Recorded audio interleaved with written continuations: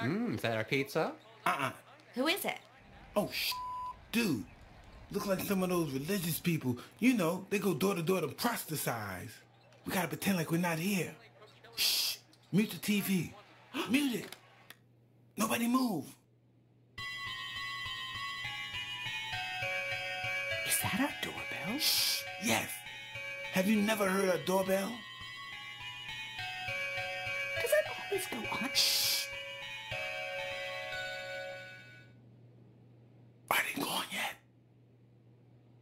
Would I know?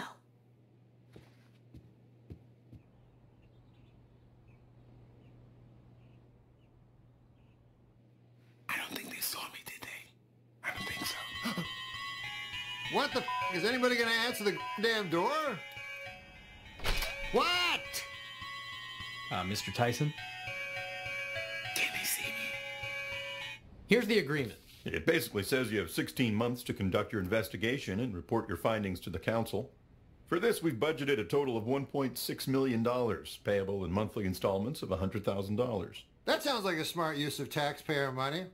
Okay, boys. We'll do it. Thank you very much. We're excited to be... Shut up. Shut up. Shut the f up.